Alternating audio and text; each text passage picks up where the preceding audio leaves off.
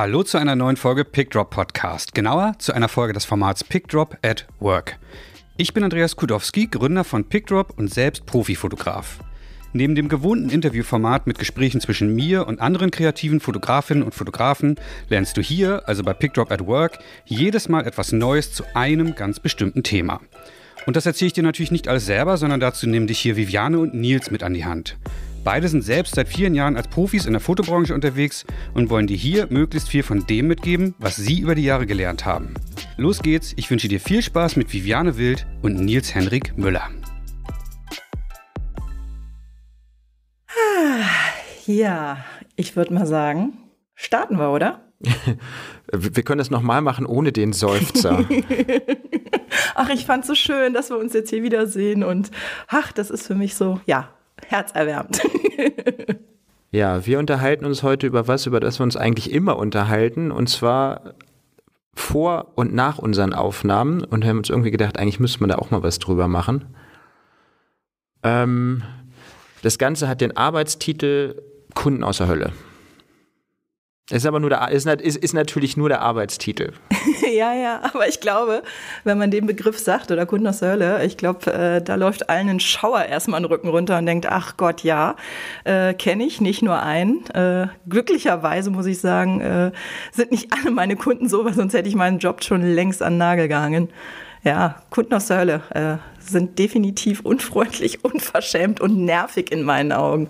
Und äh, braucht man nicht. Ja, ach, äh, man, man wächst ja auch daran. Also die, ja gut, warum machen wir das? Das ist nämlich genau das, mhm. man wächst daran, aber ähm, also grundsätzlich war es erstmal so, dass ein Kollege gesagt hat, als ich mich wieder mit ihm über äh, einen Fall unterhalten habe und er mir auch einen Fall geschildert hat, dann hat er gesagt, ähm, ihr müsst da eigentlich mal was drüber machen. Und ich gesagt, ja, wieso denn? Also ist doch eigentlich ähm, was hat das für Nutzen? Hat er gesagt, ganz einfach, äh, es gibt genug von uns, die niemanden haben zum Austauschen oder sich relativ wenig austauschen, denen solche Sachen passieren und die denken, es liegt an mir oder es passiert mhm. nur mir und es passiert nur mir, weil ich äh, in einem bestimmten Genre oder einem bestimmten Bereich unterwegs bin und äh, dann haben wir gedacht, nee, das, das, das können wir einfach mal entspannt entkräften. Ich glaube, mhm. das ist ja äh, ein allgemeines Problem, obwohl wir haben ja jetzt festgestellt äh, im Vorfeld, die Frage ist, was ist denn ein Kunde aus der Hölle? Wie definieren wir den denn mhm. überhaupt? Man muss den ja auch klar genau. abgrenzen, ne? weil das ist ja, ja. das ist ja schon ähm, eine harte Wortwahl. Definitiv, aber ich glaube, äh, also ich glaube, dass es für bestimmte Kunden definitiv die richtige Wortwahl ist. Also da finde ich, da sollte man nichts verschönen. Und also ich finde ja, man, man muss mal unterscheiden. Es gibt einmal wirklich die richtigen krassen Kunden aus der Hölle, die obwohl du perfekt vorbereitet bist, professionell arbeitest, also wirklich äh, alle Regeln der Kunst beherrschst und diese Kunden dann trotzdem anfangen ähm, zu agieren und über Grenzen schreiten und das auch wissentlich und äh, Dinge tun, wo man wirklich nur noch mit offenem Mund daneben sitzt und denkt, was passiert hier gerade? Also wirklich die, die auch aus dem professionellen Bereich kommen und trotzdem genau wissen, sie gehen hier gerade über Grenzen. Ich finde, das sind die einen Kunden. Ich finde, das sind die, die man auch wirklich Kunden aus der Hölle nennen sollte. Und dann gibt es die, ich nenne sie jetzt mal auch Kunden aus der Hölle, die, ich sag mal, hausgemacht sind, wo du ähm, vielleicht noch nicht so sattelfest bist oder das Angebot nicht ganz perfekt geschrieben war und du im Grunde genommen dadurch den Kunden verunsicherst oder auch einen Kunden an der anderen Seite hast, der das merkt und dann natürlich auf der Klaviatur spielt und in die Lücken reingeht, wo du selber noch nicht sattelfest bist. Ähm, da ist dann auch die Frage, nennt man die wirklich Kunden aus der Hölle oder sind das im Endeffekt deine persönlichen kleinen Kunden aus der Hölle, die du da im Endeffekt dazu gemacht hast? Ich glaube, da muss man immer so ein bisschen vorsichtig sein oder auch sich selber mal hinterfragen, ähm, was passiert hier gerade? Aber ich gebe zu, also ich glaube, für mich sind heute äh, die Kunden ähm, definitiv an der Tagesordnung, die, wenn man perfekt und professionell alles vorbereitet und die Ahnung hat, ähm, die trotzdem wirklich äh, die Hölle sind, weil sie ungerechtigte Forderungen stellen oder äh, ja rechthaberig sein müssen oder auch einfach ähm, aggressives und unangemessenes Verhalten an den Tag legen, wo du dann daneben stehst und denkst, hey, äh, ich kann hier gleich meinen Job an den Nagel hängen, wenn das so weitergeht. Oder ich will meinen Job an den Nagel hängen. ja. nee, also das, was du als zweites gesagt hast, äh, also in der Mitte deiner Ausführungen ist ein, ja, das ist genau das. Also vom Grundprinzip ist, glaube ich, wie so eine Beziehung. Ne? Also man, man könnte natürlich sicherlich auch äh, äh, Folgen machen, Assistenten aus der Hölle und dies aus der Hölle und Artdirektoren aus der Hölle. Ähm, aber ähm, das ist, das betrifft nur einen ganz kleinen Punkt. Und ich möchte das mit dem Assistenten, mit dem Team aufgreifen, äh, um eben so eine Kundenbeziehung, weil das ist ja auch eine Beziehung, ähm, einfach mal zu schildern. Es geht nicht darum, wenn man jetzt viel zusammenarbeitet oder jetzt auch mit dem Team lange unterwegs ist, natürlich geht man sich da mal auf den Sack. Ja, und natürlich macht er irgendwie mal was, was einen zur Weißglut treibt. Und dann ähm, ärgert man sich darüber, dann ähm, rauft man sich wieder zusammen. Aber es gibt eben da auch Punkte, es gibt rote Linien. Es gibt richtig, richtig, richtig rote Linien. Und ähm, wo man einfach sagen kann, okay, man muss hier die Beziehung, also im Rahmen eines Teams zum Beispiel, einfach beenden, wo man sagt, das geht nicht.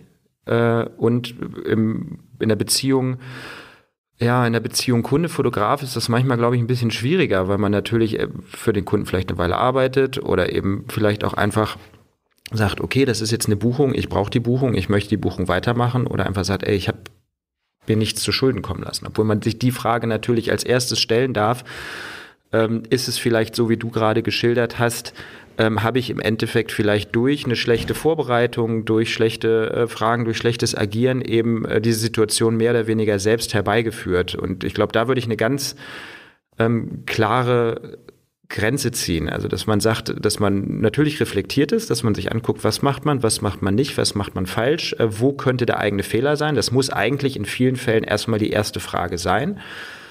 Ähm, und dann ist es aber auf der anderen Seite, genau wie du sagst, äh, das Ding, wo du unverschuldet in eine Situation kommst, bei der du einfach nicht mehr gewinnen kannst. Wo du sagst, das ist jetzt einfach, du steckst da drin, es ist wirklich Oberkante, Unterlippe, du kommst da nicht raus. Und du kannst hm. nichts dafür. Und du musst irgendwie mit dieser Situation umgehen und es ist unfassbar unangenehm. Und da fängt das für mich an. Also so Sachen, wo du nach Hause kommst, oder ich mit Kollegen äh, unterhältst und der Gegenüber dann nicht sagt, ja, oh, hm, das war jetzt aber unangenehm, sondern wo der Gegenüber mit einem offenen Mund steht und sagt, oh, das haben die nicht gemacht, oder? Oder das haben die nicht mhm. gesagt, das haben die nicht getan, oder? Und das ist eigentlich so für mich diese Demarkationslinie, wo man sagt, okay, dann reden wir tatsächlich über Kunden aus der Hölle. Ja, und die, also ich finde, diese Art von, von Kunden oder die Menschen, die dahinter stecken, äh, ich finde auch immer, dass die einem ähm, ja, also wirklich sprachlos machen. Ich finde, wenn man so einen Kunden hat, dann, äh, wie du schon sagst, dann kommt man am Abend nach Hause, fragt sich, was war das eigentlich und versucht es irgendwie einzuordnen und oft geht es gar nicht. Also weil da auch, also meiner Meinung nach auch sehr viele Emotionen dann bei einem selber hochkochen. Ich finde auch immer die Schwierigkeit bei so einer Geschichte dann, ähm, wie bleibe ich ruhig, wie bleibe ich professionell, weil das ist ja dann auch die Kunst der Klaviatur, äh, wirklich sich zurückzunehmen, zu überlegen, okay, ähm, ich habe jetzt hier eine Situation, ich komme hier nicht raus, aber was sind die nächsten Steps, wie gehe ich damit um? Und ich finde, das ist halt eine wahnsinnige Herausforderung auch in unserem Job. Also du machst ja dann da deinen Job am Set und dann hast du auf einmal so einen Querschießer oder Vorfeld oder wie auch immer oder danach. Und ähm, dann trotzdem ruhig zu bleiben, nicht die Beherrschung zu verlieren, eine Gelassenheit aufzubringen und ähm, trotzdem noch in einem offenen Diskurs mit den Kunden zu gehen, der dich da vielleicht persönlich angreift oder ähm, ja vielleicht auch mit dem Rechtsanwalt droht. Ähm, das finde ich die, die krasse Kunst. Und am Ende ist es ja auch etwas, wo du äh, wahnsinnig viel Energie und Zeit mit verlierst, wo ich immer denke, ey, braucht man das überhaupt im Arbeitsalltag? Ähm, weil deswegen bin ich zum Beispiel auch selbstständig geworden, um mir einfach sowas nicht mehr geben zu müssen. Und dachte ich zumindest. Aber äh, ja, glücklicherweise habe ich äh, vielleicht einmal im Jahr so einen Kunden aus der Hölle ich hoffe, dass es jetzt nicht mehr werden. Dass jetzt gerade alle zuhören und denken, okay, bei der Frau Wild müssen wir mal anklopfen. Wir kommen. Ähm, aber alles in allem finde ich, ähm, ja, diese, dieser Umgang damit, ähm, den finde ich am, am allerschwierigsten. Also ist jetzt auch die Frage an dich. Ich weiß jetzt nicht, was, was waren so dein krassester Kunde aus der Hölle, wo du wirklich ins, ins äh, Wanken geraten bist? Ja gut, es ist vielfältig. Ne? Also es gibt, äh, ähm, also ich habe tatsächlich festgestellt und ich habe mich gefragt, warum das so ist, dass ähm, Also ich habe jetzt wirklich mal nachgeguckt. Ich habe in den letzten Jahren habe ich äh, mein Umsatz mit Werbeagenturen ist stabil bei 25 Prozent. Irgendwo so um 25 Prozent meines Gesamtjahresumsatzes läuft über Werbeagenturen unterschiedlicher Größen. Ähm, es gibt, das muss ich vorweg sagen, ähm, viele Werbeagenturen, mit denen ich sehr gut und sehr vertrauensvoll und auch schon länger zusammenarbeite, mit einer ganz, ganz angenehmen Atmosphäre. Ich muss aber sagen, also grundsätzlich habe ich auch eher weniger Stress mit Kunden, aber 95 Prozent des Stresses, den ich insgesamt mit Kunden habe, entfällt auf Werbeagenturen. Da kann man sich ja später dann mal überlegen, oder wir können ja nach gleich mal gucken oder überlegen, woran das liegen könnte. Aber ähm, ich glaube, dass man meiner Werbeagentur dann eben manchmal auch denkt, okay, die auf der anderen Seite, die wissen ja genau, was sie tun. Das ist ja deren täglich Brot. Ne? Bei so einem mhm. anderen, beim normalen Endkunden ist es ja häufig so, die haben dann eine Corporate-Abteilung oder eine Unternehmenskommunikation. Und bei ganz kleinen äh, Unternehmen ist das dann manchmal so, dass das äh, die berüh der berühmte Herr Meier aus der Buchhaltung ist, der nebenbei noch die Unternehmenskommunikation so ein bisschen mitmacht. Also vom Grundprinzip so wie der Auftrag, Beauftragte für Datenschutz, den gibt es auch überall. Das heißt, irgendwer äh, ist nicht schnell genug weggerannt und macht dann eben die Unternehmenskommunikation. Dann gibt es Unternehmen, die haben eine komplette Corporate-Abteilung. Ähm, bei den großen Unternehmen ist es in der Regel so, dass da wirklich gute Leute sitzen, weil die äh, sich nämlich auch ganz gerne mal bei Werbeagenturen die guten Leute abgreifen und ihnen sagen, Mensch, wie wär's denn mal mit äh, guten Arbeitszeiten, respektvollem Umgang und äh, einem besseren Gehalt? Und deswegen sind die großen Kommunikationsabteilungen sehr oft sehr gut besetzt. Und ich glaube, dass das dafür sorgt, dass auf Kundenseite das eben nicht so häufig ist. Ähm, weil man mhm. eben äh, den, bei den die großen Arbeiten relativ professionell oder sehr professionell, extrem professionell und bei den kleinen da, den kann man halt einfach gewisse Sachen nicht übel nehmen, weil die viele Sachen einfach nicht wissen. Da ist es auch die Aufgabe des Fotografen, das gut vorzubereiten. Und ich glaube, wenn man das macht, dann passiert einem da auch nicht so viel. Und ähm, also die Hardcore-Fälle habe ich eigentlich mit Werbeagenturen. Und das sind, ja, das sind ganz unterschiedliche Sachen. Also eine Sache, die mir, die mir tatsächlich als erstes eingefallen ist, ist, ähm, habe ich für eine Werbeagentur einen Job gemacht. Und da kam natürlich erstmal das Geld nicht und dann habe ich da äh, nachgefragt und äh, dann kam äh, äh dann kam das Geld und einfach 1000 Euro zu wenig überwiesen. Ach du Scheiße, okay. Gab es eine Begründung? Ja, ich habe dann angerufen und habe gesagt, was, was soll denn das? Und äh, mhm. dann haben die gesagt, na ja, also äh, ähm, sie müssten ja auch irgendwie äh, gucken und der Kunde hätte jetzt nicht so viel und vor allen Dingen müssten sie ja noch die äh, KSK für mich bezahlen. Da habe ich gesagt, naja, also okay. äh, Kopfrechnen schwach. was für Argumentation. KSK, was sind das? 4,2 Prozent damals gewesen. Mhm. Äh, so groß war das Volumen jetzt nicht. Es war ein relativ kleiner Job im Gesamtvolumen, vielleicht so 4000 Euro. Das heißt, die haben einfach mhm. mal 25 Prozent weniger bezahlt. Und ich dachte, Alter, was soll das denn? Das geht ich bin meiner ja. Steuerberaterin angerufen und habe gesagt, sagen Sie mal, das können die doch gar nicht machen. Die brauchen dafür doch eine neue Rechnung für die Steuer. Und dann sagt mhm. die, nee, brauchen Sie nicht. Die Steuer Ach, ist ja da, die Rechnungsnummer ist da und fürs Finanzamt zählt der Geldfluss.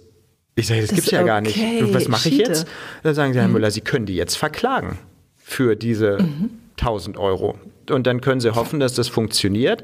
Aber im Endeffekt wird das in so einem Fall dann so sein, dass das wahrscheinlich dann vor Gericht kommt. Und dann gibt es bei sowas in der Regel einen Vergleich. Das heißt, äh, ähm, man wird sich auf irgendwas einigen, aber jeder trägt die Gerichtskosten. Und dann habe ich gedacht, ja, klar, ist eigentlich eine coole Masche, 1000 Euro weniger zu zahlen. Wegen 1000 Euro wird ja niemand, der jetzt kein Prinzipienreiter ist, vor Gericht ziehen. Wahnsinn. Ja. Aber äh, das heißt, es, du hast ja ein Angebot und so geschrieben, das wurde ja auch abgesegnet. Aber ich finde es so krass, dass jemand oder dann so eine Agentur oder wer es auch immer entschieden hat, auf die Idee kommt zu sagen, wir zahlen weniger. Ich meine, das war ja vorher alles abgesprochen. Das verstehe ich ja, da muss man sagen, also Sachen. also da, ähm, das ist eine ganze Weile her und ähm, das ist ein Kunde gewesen, für den ich vorher zwei, drei drei, vier, fünf, sechs Mal gearbeitet habe. Und dann beim fünften, mhm. sechsten Mal bei so einem Job und dem kleinen, äh, dann heißt es dann auch manchmal gerne, okay, machen wir wie immer. Ja, und dann gibt es eben auch mal einen kleinen Job ohne Angebot. Aber es sind ja, exakt die Kosten. Und das war eben auch das letzte Mal, dass ich gesagt habe, äh, äh, ich mache es nicht mehr ohne Angebot, das geht nicht, weil hast mhm. du, äh, mhm. natürlich gibt es, rein juristisch hast du dann, äh, gibt es eine sogenannte mündliche Absprache, Bezahlung wie üblich, es gibt die Mails, du kannst das alles nachweisen und Klar. auch wenn es da keine AGBs gibt, du kriegst das schon irgendwie durch, ist halt einfach anstrengender. Das war für mich aber der letzte Punkt. Es hat sich aber geil aufgelöst, weil der Endkunde wollte noch ein weiteres Shooting haben, ein paar Wochen später. Und dann habe ich gesagt, ja, nee, klar, kein Problem. Hab denen auch ein Angebot dann eben mhm. geschrieben mit mhm. einem Zip mhm. und Zap der Werbeagentur und habe dann 48 Stunden vor Shootingbeginn äh, der Werbeagentur eine Mail geschrieben und gesagt, ihr habt jetzt die Möglichkeit, äh, mir innerhalb der nächsten 24 Stunden das fehlende Geld zu überweisen und sehe ich mich leider gezwungen, eurem Endkunden zu sagen, warum ich dieses Mal nicht für ihn arbeiten kann. ja. Ne? Also das ist, das ist ja, dann denkst du, okay, das ist dann das ja, aber das Karma ist, ja, ich sag mal, ne? ja, aber ich sag mal, weißt du, der Punkt ist, die haben ja auch nicht fair mit dir gesprochen. Ich meine, wenn das jetzt das erste Mal ist, dass du mit so einem Kunden arbeitest, dann fragst du dich danach, was soll das und äh, willst du mit dem überhaupt nochmal arbeiten? Aber was ich total krass an der Geschichte finde, ist, du hast mit denen schon länger gearbeitet. Und da gab es ja eigentlich, oder würde man meinen, gibt es ja eine Vertrauensbasis. Und das, was da passiert ist, war ja überhaupt kein fairer Dialog. Die hätten ja auch vorher mal äh, anrufen können, hey Nils, pass auf, folgende Situation. Wir überweisen dir jetzt mal 1000 Euro weniger aus diesen Gründen, aber können wir das irgendwie anders verrechnen? Oder, also, weißt du, wenn es da irgendwie Probleme gibt, kann man ja immer irgendwie reden auch wenn es in dem Moment nicht gerechtfertigt ist. Aber ähm, das finde ich schon echt dreist. Ähm, aber ich finde es geil, dass du da äh, einen Weg gefunden hast, genau mit dem gleichen Prinzip, wie sie arbeiten, zurückzuschießen. Also ähm, finde ich cool. Also ja, ja sehr gut, geil. Ist, Und haben, ist, haben sie es gemacht? Also was? Haben Sie es gemacht? Ja, natürlich. Also das Geld überwiesen? Ja, klar. Natürlich. Ja. Also ähm, da, da habe ich auch noch eine vergleichbare Sache. Das war äh, eine Anwaltskanzlei. Danach habe ich übrigens erstmal fünf Jahre nicht für Anwaltskanzleien gearbeitet, weil ich gedacht habe, oh. da habe ich keinen Bock mehr drauf. Mittlerweile habe ich wieder äh, ein paar Kunden in dem Bereich, mit denen ich sehr gerne mhm. zusammenarbeite. Und zwar hat eine Anwaltskanzlei äh, auch erst nicht überwiesen und dann äh, ja, auch, ich weiß gar nicht wie viel, 2000 äh, Euro weniger, 1000 Euro weniger, also ich glaube so ein, auch so ein Drittel roundabout. Und äh, da habe ich da angerufen und dann gesagt, ja, oder nee, äh, telefonisch war da niemand mehr erreichbar. Dann habe ich zurückgeschrieben und äh, habe dann gefragt, was denn da ist. Und dann haben sie gesagt, naja, also sie seien jetzt, äh, die eine Anwältin sei mit den Bildern nicht so zufrieden gewesen und die könnten sie jetzt nicht hm. verwenden und deswegen haben sie die Rechnung gemindert. So. Ähm, wow, okay. Da sind ja, natürlich erstmal an der falschen Ad Adresse, weil äh, du kannst äh, eine Rechnung dann mindern, wenn, also ich sag mal, wenn du jetzt ein offizielles Briefing hast, wo alles ganz genau drinsteht und du hältst dich so gar nicht dran. Ne? Oder wenn die Bilder technisch nicht ausreichen. So, das kommt aus dem Handwerk. Ja, das heißt, wenn jetzt irgendwie ein Zimmermann hier irgendeinen Blödsinn macht, dann hat der aber, wenn das nicht technisch korrekt ist, hat er die Möglichkeit, auf eigene Kosten das zweimal nachzubessern, bevor der Kunde die Rechnung mindern darf. So, bei einer Anwaltskanzlei ist das dann aber ganz gerne so, dass die sagt, naja, er kann uns ja verklagen, ist ja kein Problem. ja, klar. So, der Punkt ja. dabei war aber, äh, ähm, erstens habe ich äh, ähm, ich habe einen Rechner rein fotografiert. Das heißt, wir haben dafür extra noch die kleinen JPEGs, die Vorschau-JPEGs erzeugt, die eben auch da sind. Die sind alle abgenommen worden, die Bilder. Ich habe einen Assistenten dabei gehabt. Ich war nicht alleine.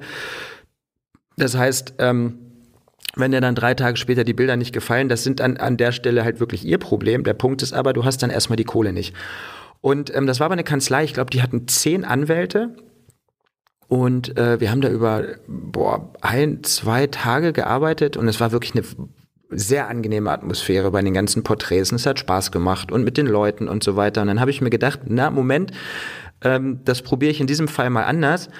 Und äh, weil ich hatte die Vermutung, dass das die eine Anwältin war, die eben auch mit der Unternehmenskommunikation dieser Kanzlei betraut war, dass die da halt irgendwie Druck von der anderen Anwältin gekriegt hat und dann sauer mhm. war und das dann weitergegeben hat.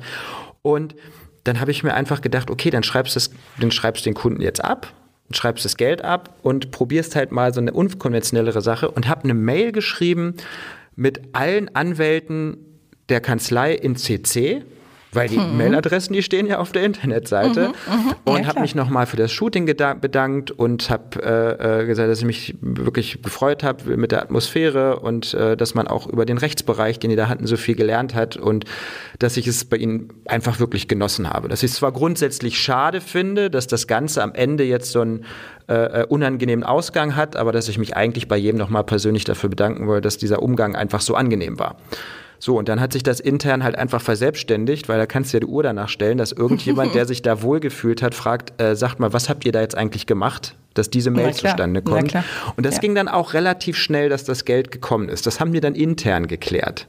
Hm. Ja, ich, ich, ich glaube immer, also ich glaube, das ist so, du hast ja echt Situationen, wo du erstmal ja, meiner Meinung nach erstmal so zurücktreten musst und überlegst, hey, wie gehst du damit um? Und es ist halt, bei einer Anwaltskanzlei, wenn du da mit dem Anwalt drohst, oh Gott, ja, vergiss es. Ich meine, ähm, ja, kannst du machen, aber am Ende ist die Frage, was kommt dabei rum? Nämlich meiner Meinung nach nichts. Und ich ha, ist interessant, weil ähm, du hast ja so ein bisschen eben diese Geschichte, bei dir sind es die Werbeagenturen. Ähm, bei mir ist es ja so, dass ich weniger mit Werbeagenturen zu tun habe, sondern mit Direktkunden. Und ähm, dann, wenn mal jemand dazwischen geschaltet ist, wie eine Produktion oder die Werbung, habe ich auch äh, interessanterweise da eher die Kunden aus der Hölle-Geschichte hinter mir. Also äh, das Krasseste, was ich echt erlebt habe, war mit einem Produzenten. Ähm, also kann man gar nicht hier sagen. Also da gab's äh, Übergriffigkeiten am Set, da gab's, äh, also mir wurde sozusagen der Mund verboten vor den Kunden. Also vielleicht so als als erste Geschichte, es war wirklich ein, ein größeres Shooting von vier Tagen. Ich glaube, das war so in meinem vierten oder fünften Jahr, als ich da diesen Job bekommen habe. Und wir hatten halt ein Vorgespräch, wie das immer ist. Ich habe ein Angebot geschrieben, alles super. Und ich sollte die Produktion nicht übernehmen. Klar, ist ja auch ein Produzent. Wobei ich nachher rauskriegte, dass er eigentlich im Filmbereich ist und nicht im Foto. Wie er also an den Job gekommen ist, weiß ich nicht. Ja gut, naja, bei dem einen hast du ein Bild pro Minute und bei dem anderen äh, pro Sekunde und beim anderen 25. Also das ist ja, ja nicht so. Ja, aber das war irgendwie so, war ein bisschen eigenartig. Naja, auf jeden Fall äh, treffen wir dann irgendwie bei ihm da auch, auch in der Firma. Und die Firma war sein privates äh, Büro, also also seine private Wohnung, wo ich um 10 Uhr sein sollte.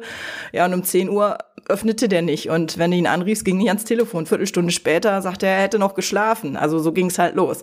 So, und dann hatte er da seine Assistentin und ähm, also alles in allem, die ganzen Absprachen liefen sehr schleppend und äh, vier Tage vor Shooting standen noch nicht die Locations. Und man muss dazu sagen, das war ein riesengroßer Kunde. Es ging um Fahrstühle in dem Moment. Und äh, das heißt, die Locations hätte ich eigentlich vorher sehen müssen. Das war auch so abgesprochen, aber die waren angeblich vom Kunden noch nicht freigegeben. Also es hieß immer ja, der Kunde hat noch nicht freigegeben, der Kunde hat noch nicht freigegeben. Es wird schon so.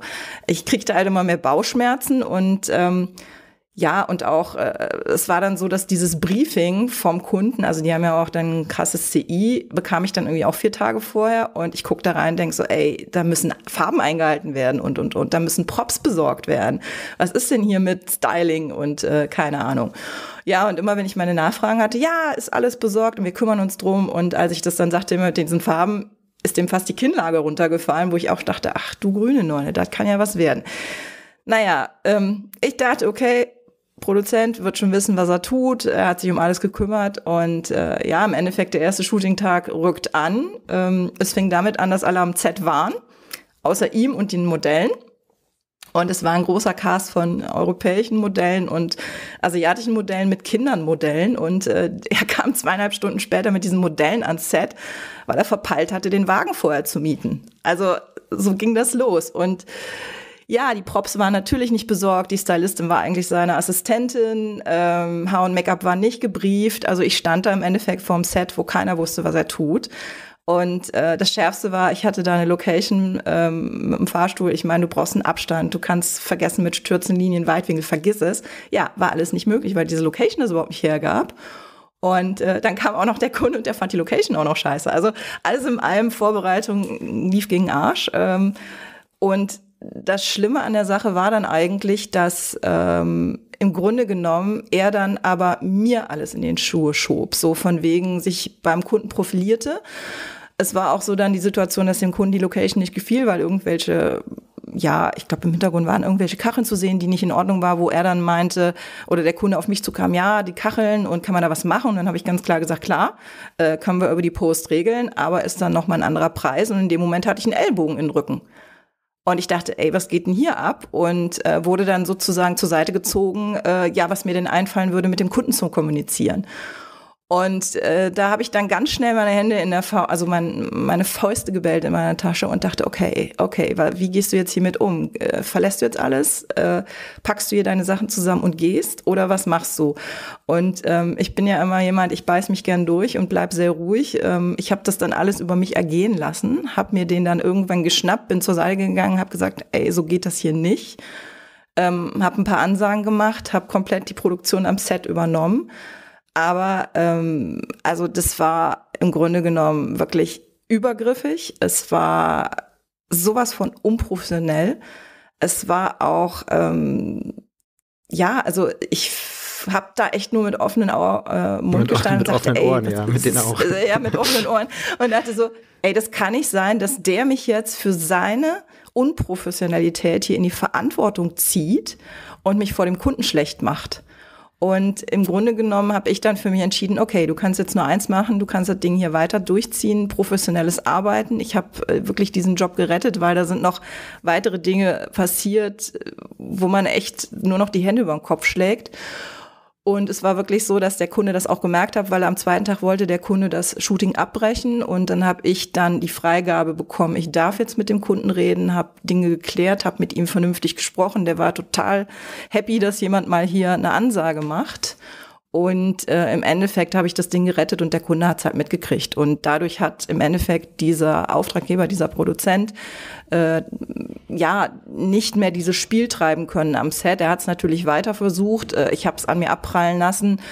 Aber nach vier Tagen waren wir eigentlich durch vom Team. Also es war auch wirklich so, die Leute, die beim Team waren, also was ich daraus gelernt habe, ähm, ruhig bleiben. In dem Moment habe ich einfach ihm die Bühne gegeben erstmal, bin professionell ruhig geblieben, habe meinen Job erledigt. Ähm, und das war das Einzige, was ich machen konnte, um am Ende da wirklich vier Tage durchzuhalten. Und, ähm, ja, und hatte ja halt nix. ein Mega-Team. Ja, es hilft, hatte es halt hilft aber auch nix. ein Mega-Team. Also das, das ja. ist halt genau der Punkt. Also ähm, was ich äh, glaube ich, was wichtig ist in so einer Vororganisation, ist, dass wenn man mit jemandem äh, zu tun hat, äh, dass man äh, dann eben Fragen auch nicht immer nur mündlich stellt und nicht immer nur telefonisch, sondern dass man das immer auch mal so ab und zu so ein bisschen über einen Mailkanal macht, so ein bisschen mal den Zwischenstand zusammenstellt. So gerade wenn es so ein bisschen haarig wird, dann kann man nämlich zum Schluss ähm, gegebenenfalls am Ende des Tages sagen, hier, guckt mal, das ist die Mailkommunikation. Also äh, ähm, das gab's ja alles. Das gab's alles. Er hat trotzdem sein, seine Klaviatur bedient. Genau, das, ja das, das, das, mag ja, ja. sein. Ne? Ja, Aber wenn am Ende mhm. des Tages der Kunde zum Beispiel sagt, er will das nicht, und dann ist die Frage, äh, äh, wer ist schuld? Ne? Weil wenn jemand sich mhm. so benimmt, dann ist die Frage, was hat der denn äh, für AGBs, wie hat der mit dem Kunden verhandelt? Weil wenn der Kunde nämlich einfach sagt, wir brechen das jetzt hier ab und wir zahlen das auch nicht, ja, und der hat dann sich gegenüber dem Kunden im Verhandeln genauso unprofessionell verhalten wie dir gegenüber am Set, dann ist nämlich die Frage, wer trägt das ganze Geld? Weil diese ganzen mhm. äh, Models Mädels, äh, wenn er die jetzt nicht irgendwie selber aus seinem Freundeskreis rekrutiert haben, die müssen ja auch irgendwie bezahlt werden. Und eine Produktion. Ja, war, also schwierig ja. wird es halt, wenn eine Produktion eine Größe hat, wo du sagst, okay, es geht hier um richtig Kohle. Ne? Und wenn da dann solche Sachen mit dabei sind. Also es gibt ja so dieses äh, der Teufel trägt Prada-Prinzip und wo du dann halt die Werbeproduktion hast, wo dann manchmal Kunden oder Artdirektoren am Set hast, die äh, ja, die sich, ja, wie du auch sagst, die sich wahlweise profilieren müssen oder die irgendwie durch das, was sie vorher mit dem Kunden besprochen haben, denn wäre so ein so ein Lügengebilde aufgebaut haben und eben klar sein muss, äh, der Fotograf oder die Fotografin und ein Team darf eigentlich nicht direkt mit dem Kunden sprechen. Ne? Ja, wobei ich das auch immer nicht verstehe, warum gibt's dieses, also äh, das ist immer, denke ich, so, was soll denn das? Also dieses ganze Machtgehabe oder sich profilierende, wo ich immer denke, es macht es doch eigentlich einfacher. Ich, Im Endeffekt, derjenige, der sich da profilieren will, der profitiert ja eigentlich nur davon, äh, wenn er jemanden am Set hat, der, der professionell arbeitet. Ja gut, die Frage ist, äh, ja gut, das würde jetzt sehr weit führen. Wir haben auch mal überlegt, ob wir mal so ein Special Werbeagenturen machen. Ne? Und äh, also mir ist heute auch wirklich wichtig, ja. dass es nicht einfach nur um Kundenbashing geht, sondern dass man einfach sagt, es ist ein wirklich kleiner Prozentsatz.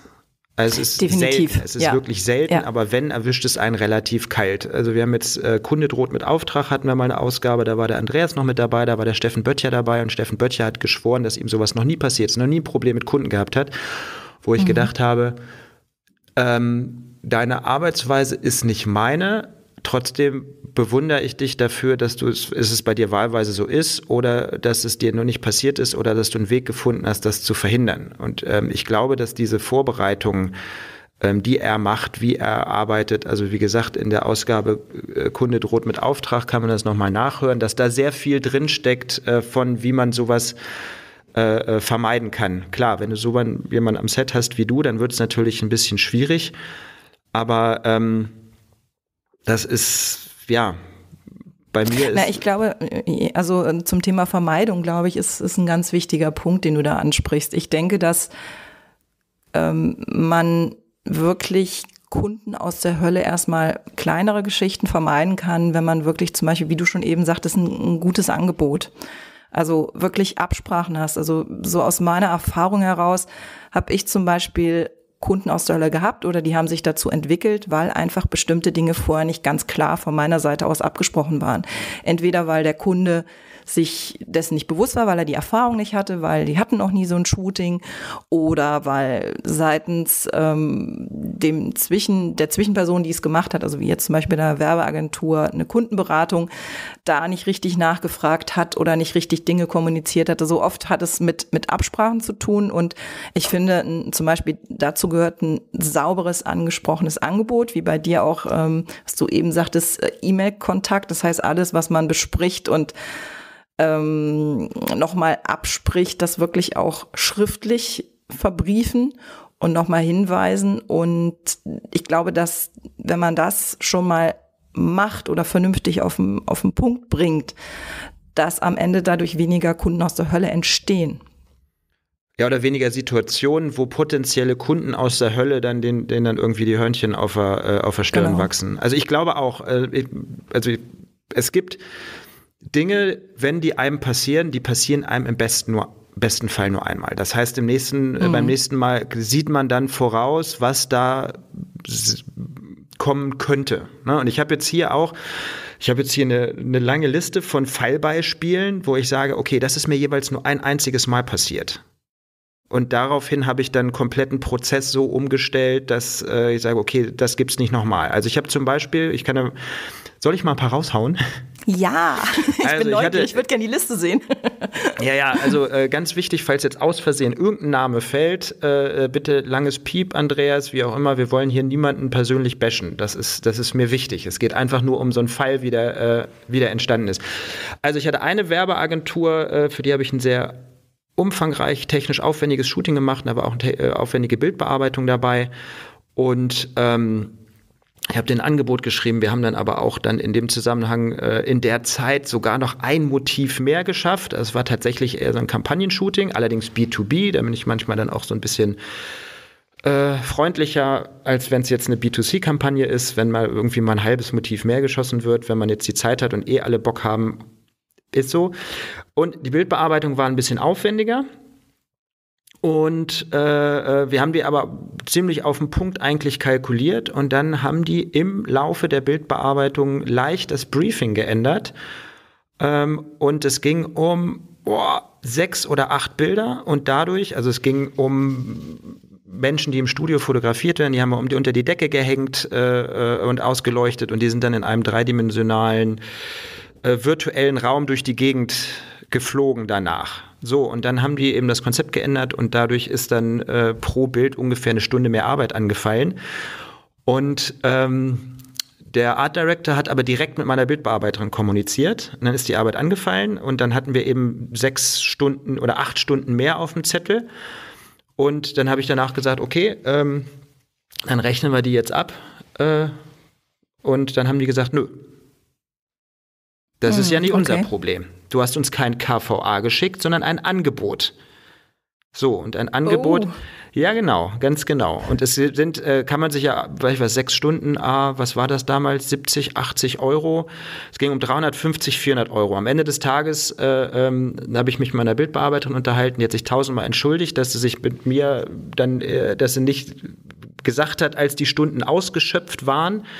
Und deshalb, seitdem ist es für mich erstens so, dass ich sage, wenn ich ein Stundenkontingent habe für die Bildbearbeitung, wird die der Bildbearbeitung sofort, also erstens kommuniziert und es wird permanent auf die Stunden und wenn auch nur in Aussicht steht, dass dieses Kontingent angekratzt wird, also diese Grenze, wird sofort zurückgemeldet, mit der Agentur gesprochen und dann wird ein Strich gemacht. es wird auf keinen Fall auch nur eine Minute länger gearbeitet als das, was da drin steht, ohne eine schriftliche Absprache, mhm. ohne eine schriftliche Zusage des Dinges. Zumindest haben die uns dann tatsächlich damit sitzen lassen. Das heißt, die hatten ein Motiv mehr, die hatten dann die Bilder und es ging um 350 Euro. Und das war was, das hat mich wirklich so richtig, äh, äh ja, man kann es gar nicht sagen, verletzt. Ja, vor und allem, es, ist, es hat mit, es ist ja auch keine Wertschätzung und vor allem auch dieses, ähm, wo ich sage, weißt du, wenn du einen Handwerker äh, bei dir zu Hause hast und der bleibt drei Stunden länger, dann genau. wird das sofort bezahlt. Aber in dem Moment, wo es um Fotografie oder Bildbearbeitung geht, äh, da denken sich dann die genau, Leute, genau, das da, gibt's Da muss man aber sagen, äh, ähm, das sind zwei Sachen. Also erstens habe ich das umgestellt und das zweite ist, das war damals eine Werbeagentur und jetzt wird's spannend. Ne? Also drei Totenköpfe, Ausrufezeichen, bitte alle zuhören. Es gibt Werbeagenturen, die verdeckte Provisionen kassieren. Das ist relativ selten, aber es gibt sie. Eine verdeckte Provision, also normalerweise ist es ja so, eine Werbeagentur ruft bei dir an und die Werbeagentur kriegt das Angebot auf ihren Namen. Ja? Mhm. Variante 2 ist, äh, die Werbeagentur hat einen Kunden und du rechnest mit dem Kunden direkt ab. So, und jetzt kommt die Variante 3. Die Werbeagentur fragt dich an und sagt, du sollst dem Kunden ein Angebot schreiben, aber für sie 15 Pro, äh, Prozent Provision mit einkalkulieren. So, das, das ich heißt, nur. und äh, der Punkt dabei ist, äh, normale Marktwirtschaft wäre ja, weil ich was sagen wir mal, äh, eine Werbeagentur fragt dich an, du schreibst ein Angebot und die Werbeagentur denkt sich, hey, der Fotograf ist wirklich gut, aber der ist viel zu billig den berechnen wir jetzt für das Dreifache. So, wenn das Dreifache, also sagen wir mal, du schreibst, nehmen wir irgendeine runde Summe, du schreibst 1000 Euro auf. So, und der, die Werbeagentur hat das Gefühl, boah, aber für das Ding kann man auch 3000 nehmen, sagt dem Kunden 3000, der Kunde zahlt 3000, weil 3000 der marktübliche Preis ist. Ne, das ist vom Grundprinzip wie auf dem Markt. Wo du auf dem Markt den Apfel kaufst, der kauft den günstig ein, verkauft den teurer weiter, das dazwischen gehört ihm. Das ist ganz normale Marktwirtschaft. Das ist auch vollkommen okay. Ja? Nicht okay ist es, wenn die Werbeagentur beigeht, dem Kunden, äh, dem Fotografen sagt, du schreibst das Angebot direkt dem Kunden und schlägst da noch 15 Prozent drauf, die wir kriegen. Das ist nämlich die Absprache zweier zum Schaden eines Dritten und das, was dann auf dem Angebot steht, ist ja dann nicht mehr der marktübliche Preis. Aber ist das nicht genauso? Also ich kenne es eigentlich mit Werbeagenturen, mit denen ich zusammengearbeitet habe, dass die mein Angebot bekommen und dann 15 bis 25 Prozent draufgeschlagen haben. Das ist doch eigentlich ja, die, die Werbe gleiche. Nee, die Werbeagentur kriegt das und die berechnet das weiter. Da weiß ja jeder, eine Werbeagentur nimmt einen Mock-up oder kann einen Mock-up ja. nehmen. Das heißt, es gibt gegenüber ja. dem Kunden eine transparente Kommunikation. Ach, du meinst dieses Int, alles genau, klar. Genau, das ist nämlich nicht transparent. Äh, dem Kunden wird ja vorgegaukelt, ja, dass der, die Werbeagentur den Fotografen hat und dass sie den besten Preis kriegen und der bietet das direkt an und so weiter und so fort. Und danach stellen die dem Fotografen eine Rechnung über 15 Prozent. Mhm. So, und mit diesen Agenturen gibt es, ich habe das dreimal gehabt, äh, mit, das sind die, mit denen es den meisten Stress gibt. Ja, aber eigentlich ja, weil erstens logisch, geht das von, los, dass die sagen, ja? ja, der Kunde ist total preissensibel.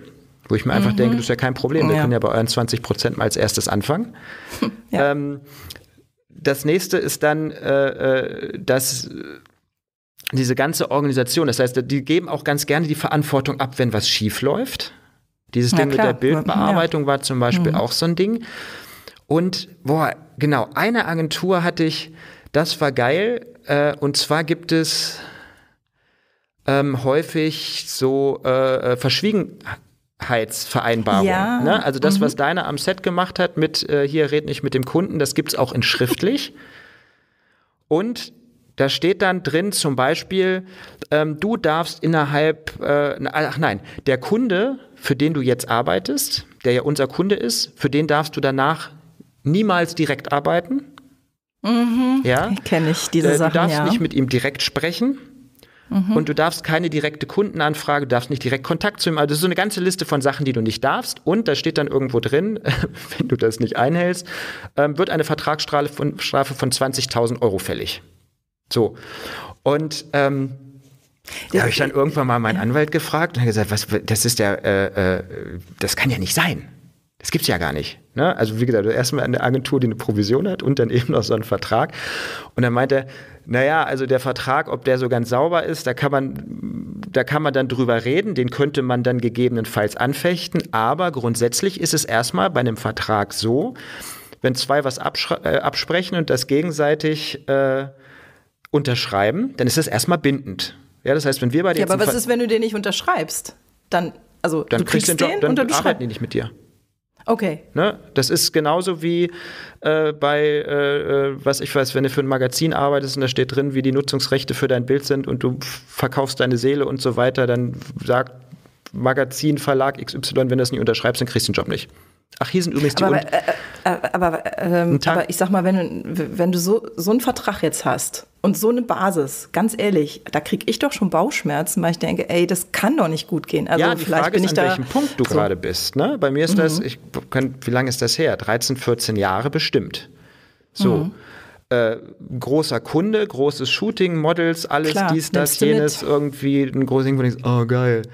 Äh, mhm. So, und dann hast du dieses Ding, habe ich meinen Anwalt gefragt, und dann hat er mir eben erklärt bei so einem Vertrag, also wenn du und ich jetzt sagen würden, ähm, was ich was, du ziehst mir an den, äh, nein, äh, wenn, wenn du mir nicht fünf Euro gibst, dann darf nein, ich nein. dir zwei Tage lang an den Haaren ziehen und wir unterschreiben mhm. das alle oder dann muss ich dir an den Haaren ziehen. Und ich halte mich nicht daran, dann könntest du theoretisch juristisch auf diesen Vertrag äh, bestehen. Schöner ja? Vertrag. Genau, das ist ein super Vertrag. Ähm, Vielleicht werden meine Haare dann länger. Das heißt, das sind ja unter, das eine ist äh, den Vertragsbereich und das andere ist dann zivilrechtlich, wie auch immer. Das sind ja ganz unterschiedliche Rechtsbereiche. Das sind ja zum Teil auch mhm. unterschiedliche Kammern, wo du dann klagen würdest. Zumindest gab es dann diesen Vertrag und ich habe mir gedacht, naja, äh, pff, für den Kunden arbeitest du ja eh sonst nicht und von mir aus dann soll die Werbeagentur die nächsten fünf Jahre äh, dir den Kunden immer antragen, ist mir eigentlich egal. Ich habe auch gar nicht vor, dann akquiriere ich den halt nicht an. So, dann ist aber Folgendes passiert.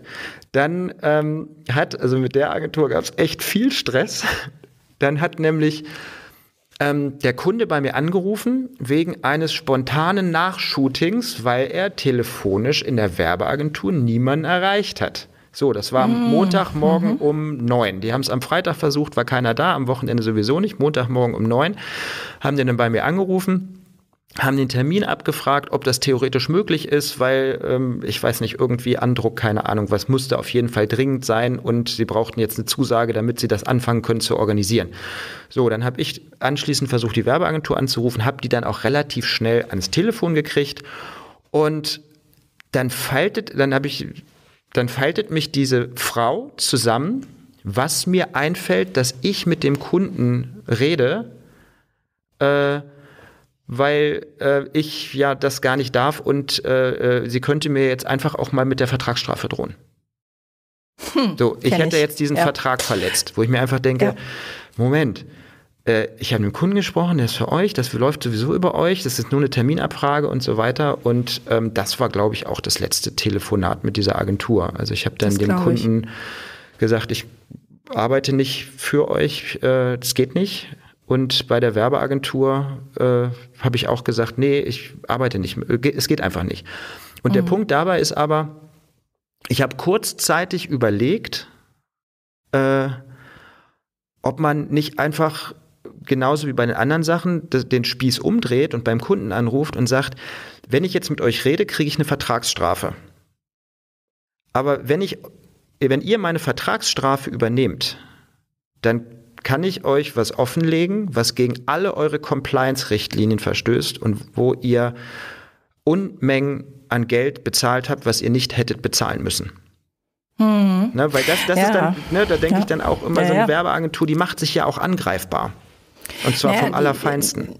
Die Frage ist genau, also es ist ja immer, wie geht man mit sowas um? Also das ist ja am Ende des Tages genau, genau das Ding, weil das, was du da erlebt hast, habe ich auf einer anderen Ebene erlebt. Also auch ähm, in dem Fall kein, keine Agentur, sondern auch Produktion und im Grunde genommen Job war schon gelaufen und im Endeffekt ähm, wirklich einen Vertrag, dass ich mit dem Kunden nicht sprechen durfte, gab es nicht. Es gab dann aber die Problematik, dass äh, Bilder von mir verwendet wurden auf einer Seite, wo sie nicht erscheinen durften. Und ähm, was auch im Grunde genommen überhaupt nichts mit dem Kunden zu tun hatte. Und im Endeffekt war es so, dass ich dann einen aufgedrachten Produzenten am, am Telefon hatte, der äh, dann mich beschimpfte von wegen hier, warum ich mal äh, den Kunden sozusagen verklagen würde, wo ich sagte, Moment mal, was, was soll das? Und im Grunde genommen Hast du ihn denn verklagt? Naja, ich habe, es war schon so, dass äh, ich habe ja, ich arbeite ja mit äh, Creative Rights zusammen. Und die checken ja im Netz für mich, ob von mir Bilder verwendet werden, ähm, die gegen das Nutzungsrecht äh, verstoßen. So und in dem Fall hatten wir diesen Fall und es ist ja so, ich schaue und ich habe da noch zwei Leute äh, sitzen, die das gegenchecken mit dem Vertrag, mit einem Pipapo und wir alle drei haben gesagt, da liegt ein, also da bin ich im Recht, das ist nicht in Ordnung. Und dann wurde halt diese Person angeschrieben, das war eine Privatperson. Und im Endeffekt ist diese Privatperson wohl auf den Kunden zugegangen und hat gesagt, ja, hier, äh, ich habe hier ein Schreiben vom Anwalt, hier Nutzungsrecht und keine Ahnung so. Und daraufhin ist natürlich der Kunde zur Produzent hingegangen und hat gesagt, äh, hier, eure Fotografin, bla bla bla.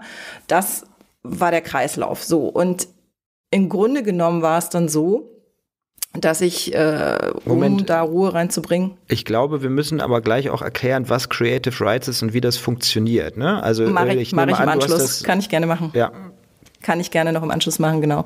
Ich führe mal gerade äh, die Story zu Ende. Auf jeden Fall ist es so gewesen, dass es da erstmal einen Riesenstreit gab. Äh, Im Grunde genommen von der rechtlichen Seite wäre es mein Recht gewesen, das durchzuziehen. Ich habe es dann zurückgezogen, ähm, um diese Situation äh, Ruhe zu geben und auch, äh, sag ich mal, da, ja, der, dem Produzenten eine Bühne wiederzugeben. Auf der anderen Seite war es aber so, dass ein paar Wochen später ähm, der Kunde direkt bei mir anrief, um äh, einen Job anzufragen, wo ich dann auch sagte, ja, haben Sie beim Produzenten angerufen, bla bla bla. Ja, nee, äh, hatten wir schon gemacht und da ging keiner ran. Also ähnliche Situation wie bei dir.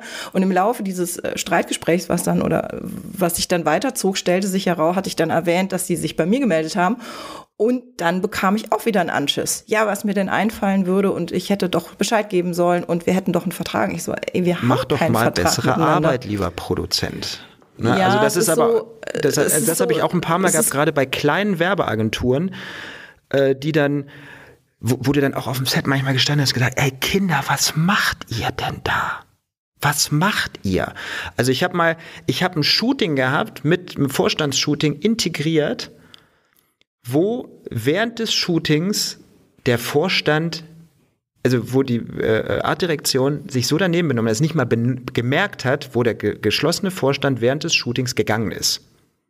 Ja? ja. Und wo die Kundin dann beim ganzen Shooting immer, wenn sie irgendjemandem, äh, das war ein Corporate-Shooting, wo wir irgendwann im Unternehmen unter den Wickel und dann kommt man natürlich und äh, rum und ah, ihr macht ein Fotoshooting und wie läuft's?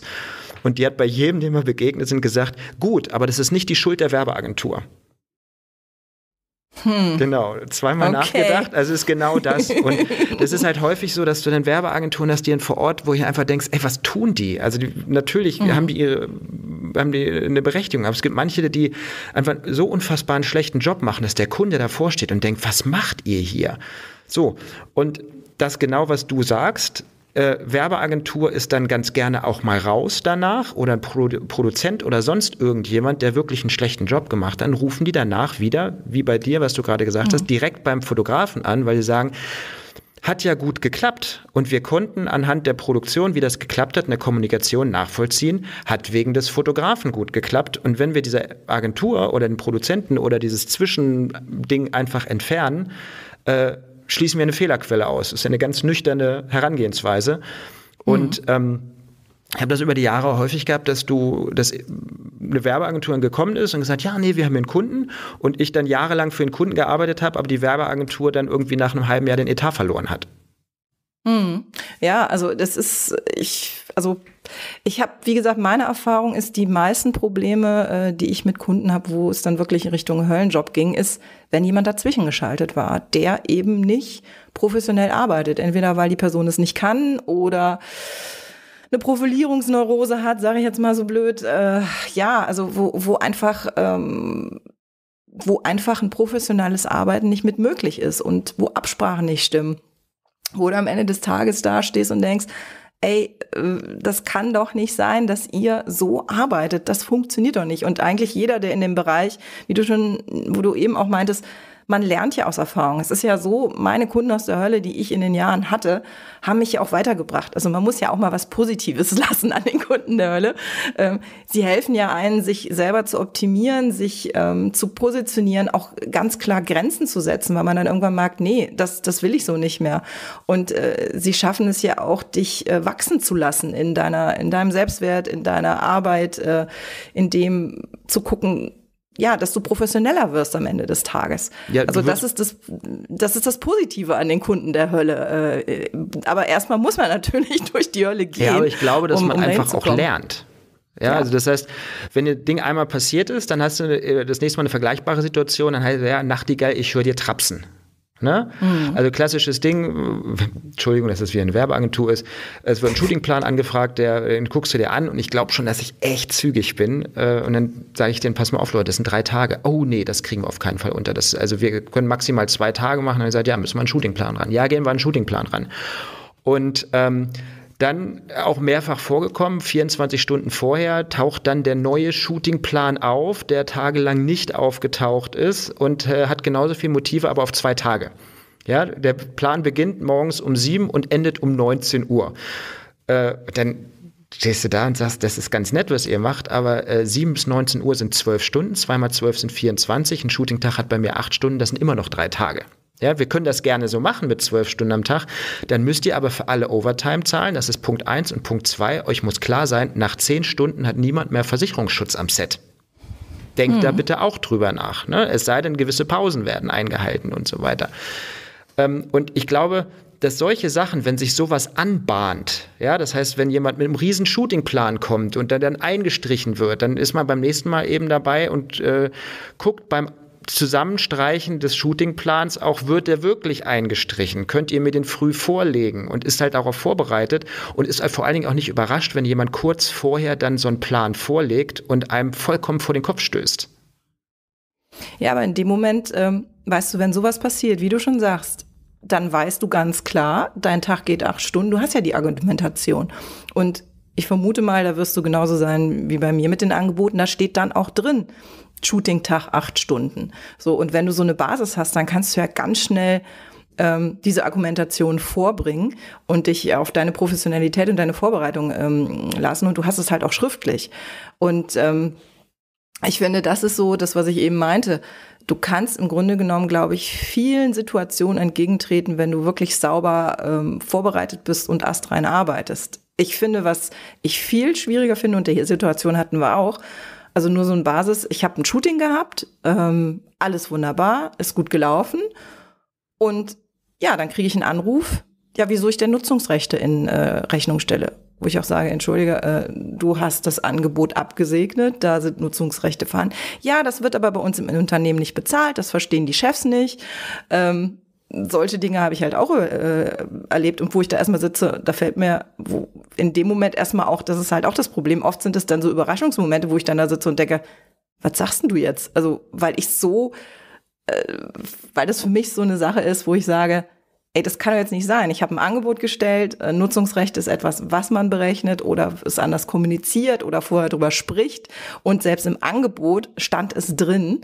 Ähm, und es war unterschrieben. Oder auch eine andere Sache, da hatte ich auch, da war eine Agentur, die haben ähm, im Endeffekt auch eine Rechnung von mir bekommen. Und da kriege ich den Anruf, ja, wir zahlen die, ähm, die Fahrt vom Tag nicht, also die, die, ähm, die Fahrzeit oder die äh, Tagesfahrt nicht. Und da habe ich auch gesagt, entschuldige, das habt ihr abgesegnet, das ist unterschrieben ja, das war zu klein gedruckt, das konnte man ja gar nicht lesen, war dann die Argumentation. Ja, aber da, also nur solche Sachen. Also da, da können wir mal eine Runde zurückgehen. Wir können nochmal auf die acht Stunden gehen. Das schreibt man ja irgendwann in ein Angebot rein, weil man mal Stress hatte mit einem Kunden, genau. der dann halt einfach übertrieben genau. hat und man dann auf dem Set gestanden hat und nach neun Stunden sich gedacht hat, eigentlich müsste man da jetzt mal und vielleicht nicht den Mumm gehabt hat, das reinzumachen und dann hat man das halt einfach das nächste Mal irgendwann ins Angebot reingeschrieben, äh, damit das von vornherein klar geregelt ist. Man muss ja nicht nur für sich regeln, sondern auch fürs Team. Ähm, das Zweite, was du sagst mit den Nutzungsrechten, das ist eine ganz klare Sache. Wenn man ein Angebot schreibt, das Angebot ist abgesegnet, äh, der Job ist gemacht, das, das muss bezahlt werden. Ja, klar. Ja, da, kann, da können die sagen, was sie wollen, was im Angebot. Du kannst dann äh, aus Kulanz dann noch sagen, naja, da kann man vielleicht noch was machen, aber ganz ehrlich, äh, was im Vorfeld nicht besprochen ist, fertig und nach dem Job zu sagen, ich zahle das nicht, äh, da haben die keinerlei rechtliche Grundlage. Du kannst denen direkt eine Rechnung schreiben und wenn die die innerhalb des Zahlungsziels nicht schreiben, kannst du denen sofort eine Mahnung schreiben und nach der zweiten Mahnung äh, kannst du dir einen Titel holen. Und ein Titel heißt, dass du, und das wissen die auch in der Regel, dass du bei deinem Anwalt, weil in der Regel gibt, bist dann eh durch mit denen. Ähm, das heißt, dein Anwalt schreibt die dann an, äh, um das dann eben zu holen und die müssen noch die Anwaltskosten zahlen. So, dafür brauchst du auch nichts, dazu musst du nicht zum Gericht. Nach der zweiten Mahnung kannst du dir äh, kannst du deinem Anwalt gehen, der kümmert sich darum und die müssen deinen Anwalt noch bezahlen, wenn er das macht. Ähm, das, was du mit den Nutzungsrechten sagst, ist das Gleiche, ob das zu klein gedruckt ist oder nicht oder Reisekosten nicht zu zahlen. Also alles na, mit einem sauberen Angebot nach einem abgeschlossenen Job, wenn da irgendjemand sagt, ich zahle das nicht, da braucht man nicht drüber diskutieren. Genauso ähm, wenn du ein Zahlungsziel von 30 Tagen da drin hast oder von mir aus zwei Wochen und dann rufst du nach zwei Wochen oder 30 Tagen bei der äh, Agentur an und dann kommt folgender Satz, Achtung, mein Lieblingssatz, wir haben vom Kunden ja auch noch nicht das Geld bekommen. Hm, so, den Satz kenne ich, ja ist die rechtliche Grundlage, das ist Wurst, was die von ihrem Kunden gekriegt haben. Mein Vertragspartner ist die Werbeagentur. Äh, wenn ihr andere Zahlungsziele habt, müsst ihr das vorher kommunizieren. Soweit nicht anders vereinbart. Zahlung wie üblich. Es gibt ein gesetzliches Zahlungsziel. Das heißt auch nicht, dass man nach 30 Tagen zahlt, sondern es das heißt, dass man innerhalb von 30 Tagen zahlt. Das heißt, es steht der Agentur ja auch offen, am ersten Tag zu zahlen auch sowas gibt es, dann ist man zwar sehr überrascht, wenn man plötzlich so direkt das Geld hat und, die, und auch sonst alles super ist, aber ähm, auch sowas gibt. Und da muss man halt einfach, ähm, weil viele von den Sachen, die du jetzt gesagt hast, das ist einfach dieses Ding, äh, ein gutes Angebot schreiben, äh, saubere AGBs haben, äh, nochmal sicher gehen im Zweifel, wenn man Kunden hat, die das nicht gewohnt sind mit Nutzungsrechten, weil es eben, ich sag mal, ein kleines mittelständisches Unternehmen oder wie auch immer ist äh, wo der Chef das selber noch absegnet, noch nie was von Nutzungsrechten gehört hat und dann zum Beispiel sagt, naja, wenn ich mir ein Klo einbauen lasse, dann zahle ich ja auch nicht die Nutzungsrechte für zwei Jahre. Ähm, das heißt, dass man denen dann im Endeffekt erklärt, was das ist. Ähm, was anderes ist, und da hast du vorhin eine Art von Kunden aus der Hölle reingebracht, über die ich vollkommen verblüfft bin, und zwar hast du Creative Rights ins Spiel geführt. Ähm, mhm. ich bin naja, dem. Äh, ja, es ist ja kein Kunde, das ist ja im Endeffekt. Ja, ja, ein, ja, ja, nee, nee, das ja, ist kein ja. Kunde. Mhm. Aber das ist eine, äh, eine zum Teil kriminelle Energie, das ist bemerkenswert. Äh, ich bin über, an Creative Rights gekommen, damals über Catch, glaube ich. Creative Rights ist eine Firma, ähm, da kannst du dich anmelden, also Creative mit C, Rights äh, wie die Rechte. Ähm, da kannst du dich anmelden, da hast du einen Account und da kannst du dann Bilder von dir hochladen. Und die haben eine Software, gleichen das mit dem Netz ab und gucken, wo tauchen die Bilder auf. Dann kriegst du eine lange Liste und kannst dir dann deine eigenen Verträge angucken oder deine Angebote und wer weiß was nicht und guckst zum Beispiel, ah ja, da hast du für die Presseabteilung gearbeitet, wenn die Bilder überall auftauchen, dann das war ja auch so gedacht. Äh, da hast du eine Kampagne gemacht, die war nur für den Kunden. Ähm, Moment, warum hat die Firma jetzt dieses Bild verwendet? Und das Spannende ist, dass man von Creative Rights und es gibt, glaube ich, noch ein, zwei andere Firmen, dann eine Liste von Orten kriegt, wo deine Bilder auftauchen, wo es dir echt die Fußnägel hochschlägt. Also ich habe äh, äh, ein Bild aus dem Geschäftsbericht von einem DAX-Unternehmen gehabt, was irgendwie plötzlich in einer nordamerikanischen Stockagentur aufgetaucht ist. Hm, ähm, Kenne ich. Ich äh, habe ja. äh, gleiches Spiel bei mir. einen mhm. Star-Architekten äh, porträtieren dürfen der auch designt äh, und auch Möbel äh, äh, designt hat. Und dann ist mein Bild von meiner Internetseite ähm, gespiegelt und in Schwarz-Weiß bei einer äh, Firma in, ähm, äh, in England aufgetaucht, äh, die mit diesem Bild dann äh, den Stuhl beworben haben auf ihrer Internetseite, ne, mit dem Schwarz-Weiß-Porträt des Architekten. Und ähm, also ich das ist, äh, das ist dann so, dass äh, du kannst dann sagen, okay, äh, die Nutzung ist nicht in Ordnung und dann geht eben Creative Rights dahinterher, kümmern sich um den restlichen Teil und ich weiß gar nicht, wie viel Prozent die dafür kriegen. 50? Mm, nee, nee, gar keine Prozent. Das läuft so, dass du ja, wenn dann ein Fall auftaucht, ähm, gibt es ja den Anwalt, der sich da äh, spezialisiert hat, der das Ganze in die Hand nimmt. Und es ist so, wenn dann, ähm, wenn wirklich klar ist, dass dieser Fall ähm, am Ende für dich positiv ausgeht, geht das ja los. Und das heißt, die Kosten, die das Ganze ähm, auf das das Ganze beläuft, die werden im Endeffekt getragen von dem, der äh, einen geschädigt hat. Das heißt, wenn am Ende eine Belastung von 3000 Euro anfällt, ähm, dann ist es so, dass ich glaube, genau da glaube ich, kommen wir zu den Prozenten. Ich weiß nicht mehr genau, wie viel es ist, aber davon werden natürlich der Anwalt und Creative bezahlt. Und du bekommst dann halt nun äh, nicht die 3000, sondern sagen wir 1500 gut, gut. beispielsweise gut genau, Verfahren hin oder genau. her, wie auch immer, auf genau. jeden Fall verklagen die dann den, der deine Bilder hat und äh, du kriegst da Geld für. Ich habe das auch zwei Jahre gemacht. In einem Jahr bin ich tatsächlich auf äh, mit fünf oder sechs Fällen auf einen fünfstelligen Betrag gekommen. Ähm, ich muss aber auch sagen, also ich bin da wieder ausgestiegen, weil ähm, im gleichen Grund, warum äh, äh, äh Paul Ripke sowas auch nicht macht, er hat das irgendwie, glaube ich, mal im Nebensatz formuliert. Er hat gesagt, ich habe keinen Bock auf Stress und was soll das? Also ich, mir ist das, ich finde das doof. Und ich habe einfach gemerkt, wie mir das Magenschmerzen macht. Ja, wie diese offenen Fälle, die dann da irgendwo sind und dann irgendjemand und so weiter. Ich habe, also meins war es nicht. Ähm, skurril ist aber eben da, um jetzt wieder dieses ähm, Grundhauser Hölle-Ding aufzugreifen, mit welcher Energie Leute wirklich ganz gezielt Bilder von Internetseiten zocken und die wirklich zur Werbung einsetzen. Da frage ich mich, was ja, ist da ist, los? Es ist einfach dreist. Es ist einfach dreist. Es, ist, es gibt einfach Menschen, die dreist sind und äh, die leider auch mit einer Dreistigkeit äh, weiterkommen. Und ähm, also das ist auch so ein bisschen mein, meine Problematik oft bei solchen Kunden, weil ich bin es nicht. Also ich bin immer jemand, der gerne fair spielt, die offen mit Kunden redet. Und wenn ich dann an solche Menschen gerate, auch die dann zu Kunden werden oder Kunden sind, dann äh, dann fehlen mir oft die Worte. Also da zieht's mir dann auf den Boden auch äh, unter den Füßen. Also auch so eine, so eine Geschichte noch ein Beispiel. Das war, das war eine Businesskundin. Es ist auch echt eine Geschichte, wo ich gedacht habe, das darf nicht wahr sein. Also die hatte im Endeffekt ein Coaching gekriegt, wollte irgendwie dementsprechend äh, jetzt auch die Fotos haben, hatte mir Moods geschickt und meinte, ja, wir können das bei mir im Büro machen. Ich gesagt, ja, dann schick doch mal Fotos von deinem Büro. Sagt sie, es ist nicht so groß. Ich so, ich guck mir das an. Und alleine da ging schon los, dass halt das Foto, was ich bekam von dem Mut, so ein strahlendes, helles Büro war, alles durchgestylt, bestimmte Farben nur im Bild. Ähm, ja, und dann kriegte ich dieses Bild und dann war das wirklich ein Holztisch mit einem Holzstuhl und einer lilafarbenen Tapete. Und dann habe ich die Kundin erstmal angerufen und habe gesagt, ey, jupp, das funktioniert so nicht. Das, äh, ja, und dann ging es schon los, dass diese Kunde anfing, nee, das Mut ist ja nur so als Idee und hm, wir können das ja anders machen. Gut, äh, nach Absprachen, nach Mails äh, haben wir dann gesagt, gut, wir machen es. Ich bin dann bei ihr vorbei und dann hat mich der Schlag getroffen, weil dieses Büro war eine Wand mit einem Stuhl und einem Tisch davor. Und rechts und links war dann irgendwie, ähm, ja, einmal das Bett und das andere war die Küche. Und ich stand da und dachte, das geht hier gar nicht. Hab das abgesprochen. Wir haben es dann komplett äh, in einer anderen Ecke von dieser Wohnung gemacht, wo dann halt Platz war. Während des Shootings hat sie gesehen, was auf dem Monitor passierte. Wir haben wirklich das in die Richtung gebracht, wie das Mut war. Und ähm, ich habe auch nach Klamotten geguckt und nach Haaren und äh, dass das alles äh, passte. Sie war sehr zufrieden, wunderbar, Shooting beendet. Zwei Tage später ähm, bekomme ich dann Feedback von den hochgeladenen Fotos, es wäre ja alles scheiße.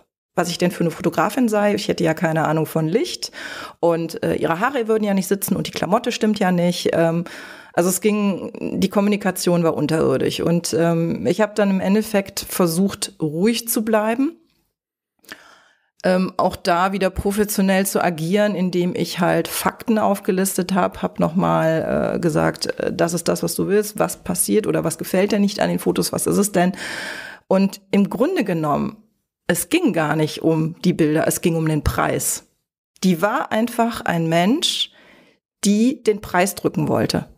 Und die wollte halt Fotos haben. Ich habe ja auch gesagt, ja, wenn es nicht passt, dann äh, da, wir können es auch lassen mit den Fotos. Dann, wenn die nicht gefallen, dann brauchst du die Fotos nicht. Dann äh, brauchst du die äh, Nutzungsrechte oder so nicht bezahlen. Dann zahlst du halt nur den, dass ich da war, also die Leistung, die ich erbracht habe. Da hat die sich überhaupt nicht drauf eingelassen. Also im Grunde genommen lief es wirklich darauf im Ende raus, dass ähm, sie den Preis drücken wollte. Und in ihrer Art und Dreistigkeit hat die halt echt angefangen, äh, persönlichen Angriff, ähm, Forderungen zu stellen, die überhaupt nicht geltend waren. Und obwohl alles sicher war im Sinne von Angebot oder so, ist sie in die Lücken gegangen und äh, hat versucht, mich da ähm, ja zu drücken. Und ich habe irgendwann gesagt, ich kommuniziere mit der nicht mehr. Ja gut, im Endeffekt ist das ja du sagst jetzt ein Business-Shooting, aber es ist ja mehr oder weniger äh, für eine Privatperson. Ja, das ist aber genau der Grund, Fall. warum ich für Privatpersonen nicht arbeite, weil ich da keinen Bock drauf habe.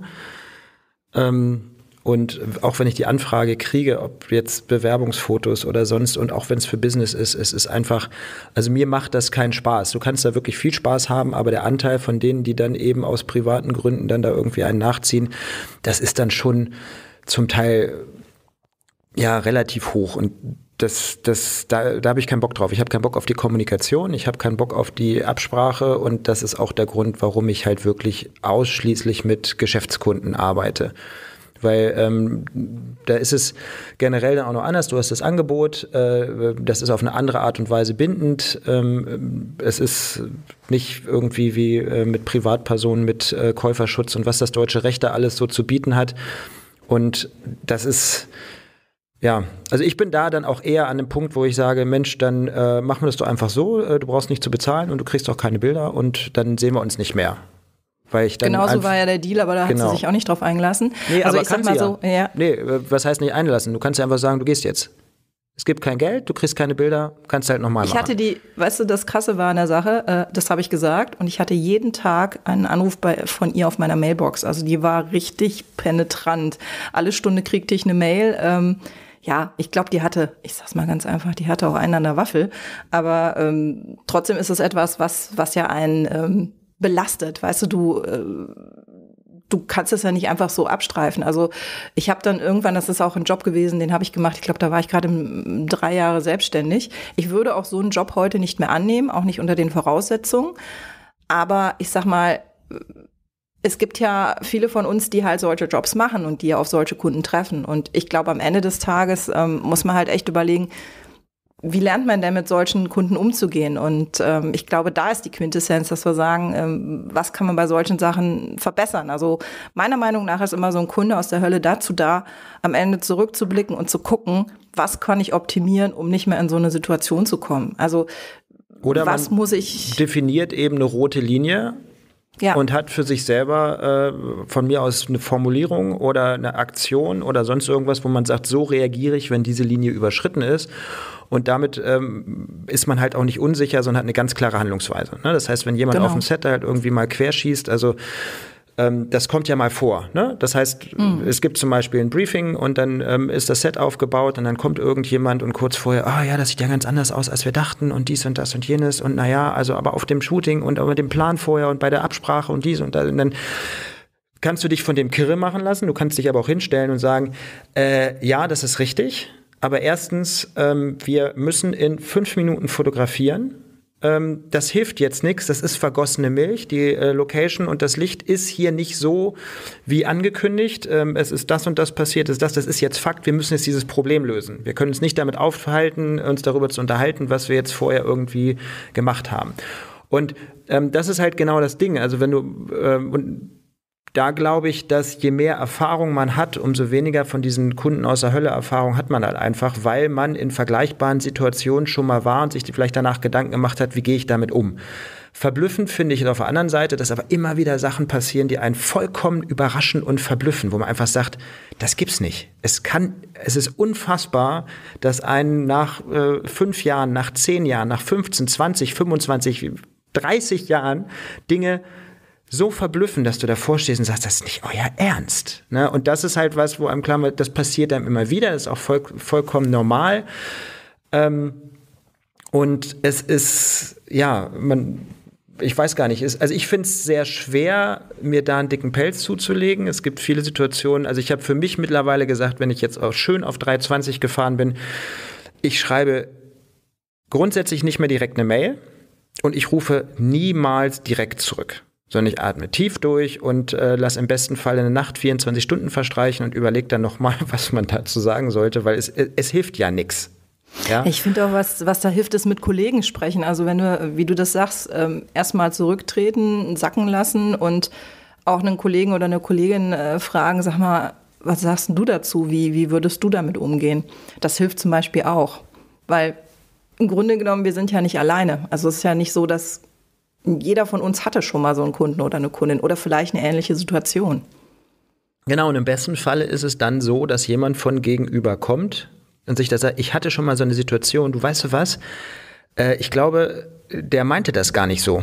Oder äh, Variante 2 ist, äh, ähm, du, ich glaube, äh, der weiß das gar nicht besser. Ja, das ist ja, keine also dieses, Absicht. Genau, und dieses, genau. ähm, und das ist, glaube ich, gerade, äh, da sind wir wieder bei dem, bei dem Thema Werbeagenturen, das ist halt manchmal genau das Ding, dass du einfach denkst, ey, die machen das jeden Tag. Ja, wenn denen sowas mhm. durchrutscht, ja, das muss ja Absicht sein. Und ähm, es passieren auch Sachen, ähm, also einen, einen würde ich ganz gerne nochmal, weil der ist so Hau raus. Der ist so geil, der ist so geil, den können wir fast als Abschluss nehmen. Oh, und ja. zwar äh, habe ich einen Anruf von einer Privatperson aus Holland gekriegt. Total netter Typ, der hat gesagt, ja, nee, es ist ein Bild von dir, das finde ich total geil und das, äh, das würde ich gerne bei mir privat als Bildschirmschoner haben. Sagt, oh, oh. oh, das, das, du, äh, das, das finde ich total. Ey, wenn jemand sagt, ich finde ein Bild so toll, äh, dass er, ich möchte es bei mir privat als Bildschirmschoner sagen, äh, finde ich super, bin ich sofort dabei, schicke ich dem rüber. Und dann habe ich das fertig gemacht und habe gesagt, Moment, ey, wo hat er denn dieses Bild gesehen? Weil das war irgendwas von vor oh, Anfang Nuller Jahre. Ähm, Zeit meiner Diplomarbeit, da habe ich bei den Hotheads East ähm, Hot Rod Rennen äh, Bilder irgendwo im Osten Deutschlands, in Finsterwalde muss das gewesen sein, gemacht. Und er hatte da ein Bild drauf, gesagt, wie, wie, wo hat denn der das gesehen? Und habe ich den gefragt, und dann hat er gesagt, ja, nee, er hätte hier ein Bildband und da wäre das da irgendwie die Doppelseite in der Mitte und da ist das Ding drin. Und ich sage, das ist ja interessant, kannst du mir den mal nennen? Und ähm, dann habe ich den gekriegt, inklusive ISBN-Nummer und habe dann bei dem Verlag angerufen und habe gesagt, sag mal Leute, also ich weiß, ihr habt ja auch irgendwie so ein, zwei Special Interest Magazine.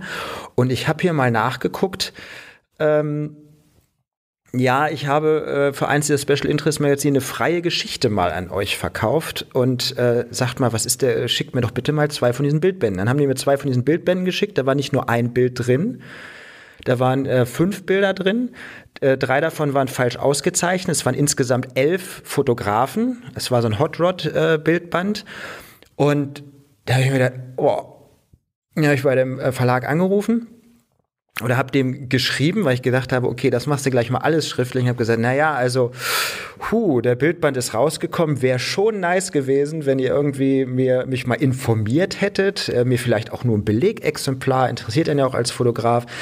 Äh, da sind jetzt sechs Bilder drin.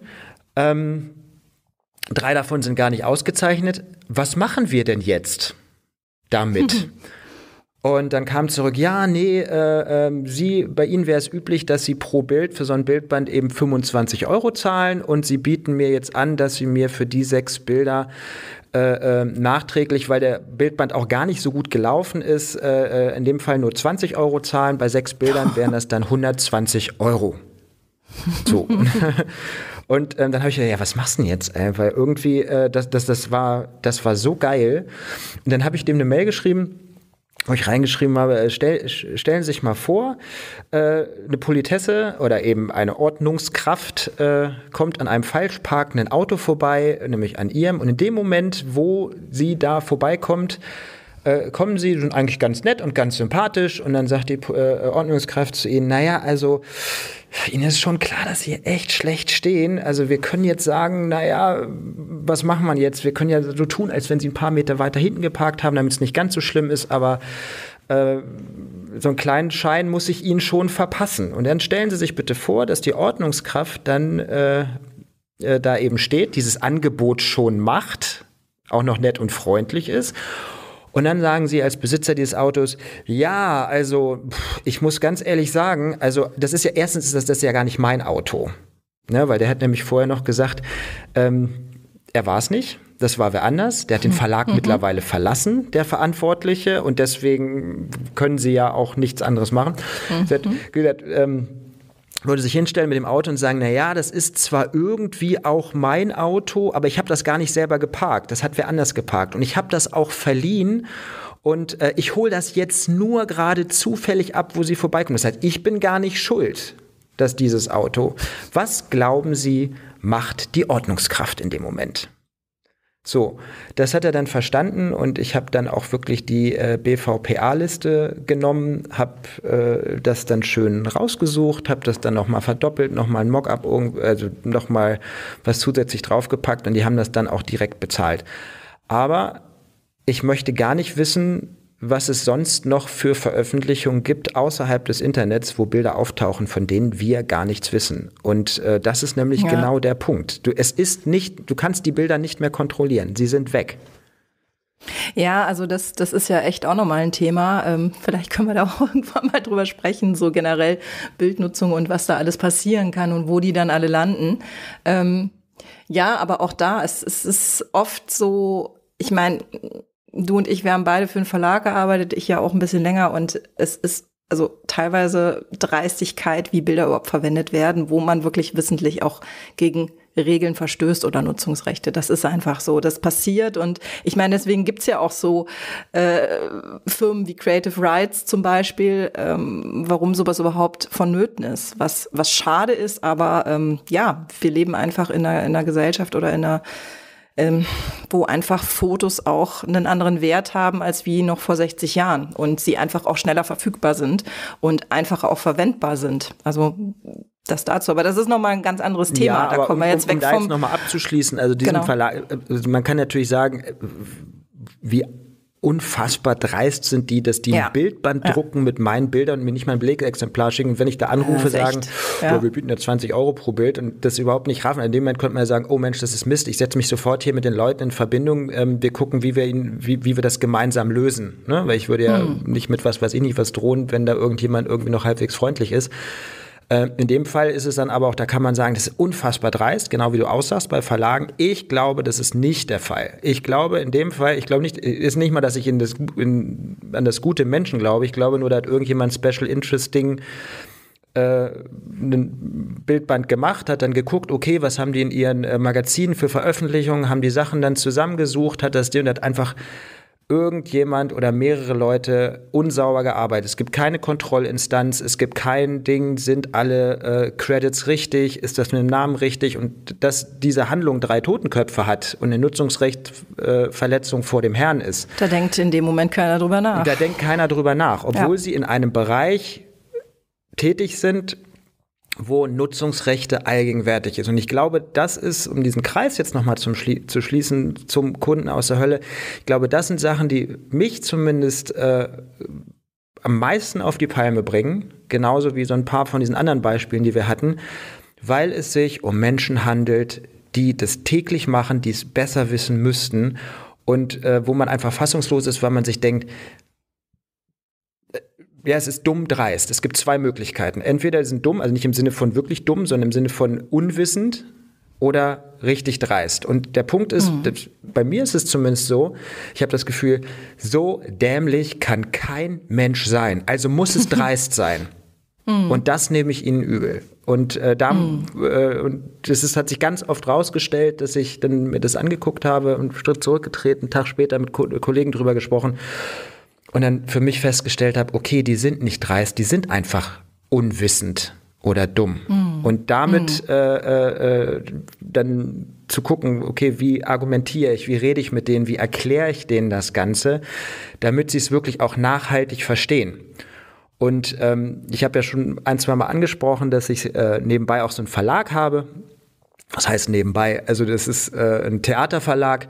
Und auch da gibt es Kunden, die sich ein, An ein Ansichtsexemplar, ja, also nicht den Rollensatz, den sie zum Spielen äh, äh, kaufen müssen, damit sie überhaupt die Nutzungsrechte für eine Aufführung haben, die sich ein Ansichtsexemplar einfach runterladen, sich das angucken, sich denken, oh ja, also mit den Rollen, können wir noch zwei dazuschreiben, eine wegstreichen, äh, machen das dann, ja, führen das auf, ändern den Titel nicht mal, ja, dadurch ist es ja dann in der Presse auffindbar. Moment, Moment, kommt noch einer on top. Kommt noch einer on top und kommen danach und sagen, naja, wir haben das ja selber jetzt geschrieben und umgeschrieben und bieten es dem Verlag im Anschluss als eigenständiges Stück wieder an Ach, zum Kauf. Grüne Neune. Okay, so. das ist ja ganz viel falsch gelaufen. Ja, nee, und okay. äh, man muss sagen, das sind gestandene, erwachsene, studierte Menschen, die das machen, wo du davor stehst und denen das dann erklärst und sagst, also erstens, wir haben ja einen Autor, in unserem Fall ist es ja ein Fotograf, von dem hast du das Ding geklaut. Du hast es adaptiert, verkaufst es jetzt als deins, ja, also dass das nicht geht, ist klar, aber du hast vor allen Dingen ein Stück illegal aufgeführt.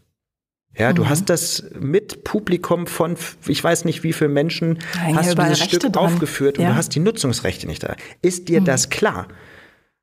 Ne? Also für die Musik, die da Wahnsinn. am Anfang gespielt wird, wird wahrscheinlich noch GEMA bezahlt. Und ich sage, Leute, das ist vom Grundprinzip ja, genau wie die GEMA. Und es, man, es ist vollkommen skurril, wenn man sich diese Sachen anguckt und dann merkt, die, die machen sich das nicht klar. Und deswegen ist mhm. jetzt äh, zum Abschluss dieses Themas, also für mich zumindest, dass man sagt, Kunden aus der Hölle gibt es. Es gibt wirklich unfassbar dreiste Herangehensweisen. Es gibt aber auch einfach viel unreflektierte Vorgehensweise. Und ich glaube, die Kunst ist es, mit jedem Problem, was passiert, sich eine Lösung zu überlegen, wie man, wenn das nochmal passiert, damit umgehen würde. Dadurch passieren die Sachen weniger, weil man sie früher vorausschauen oder wenn man vorausschauender handeln kann. Und das Zweite, dass man eben manchmal bei so viel Dummheit sagen muss, okay, ich stehe da drüber. Also, dass genau, man einen Weg also, findet, ja. wie man da kurzzeitig mit umgeht und nicht einfach vollkommen explodiert. Ja, also für mich Die ist auch so. Die machen das nicht mit Absicht.